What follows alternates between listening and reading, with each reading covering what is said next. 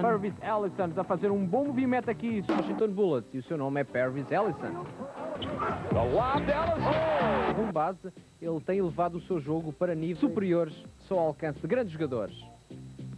Feito com a forma como ele compreende o jogo e sabe utilizar a sua agilidade. Uh, diz que Purvis Ellison foi um grande jogador de saltos, tornando-se uh, uh, o jogador mais importante e ele tem ainda muitos obstáculos.